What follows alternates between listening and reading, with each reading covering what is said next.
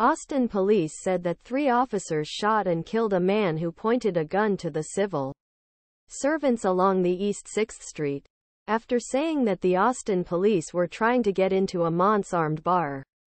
There was along the 6th Street on Saturday night, as an APD of an employee in bar.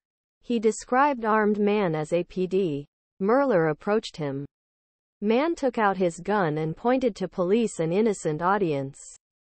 APD says that three officers hit the armed many times.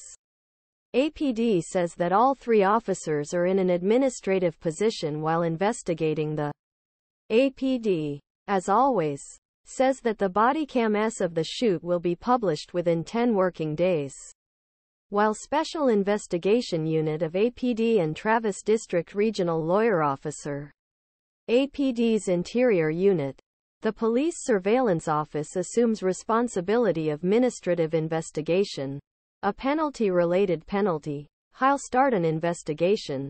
Anyone who has additional information about is asked to contact Capitol Area Crime Stoppers on the Special Investigation Unit of APD or 5,124,728,477 on phone number 5,129,746,840.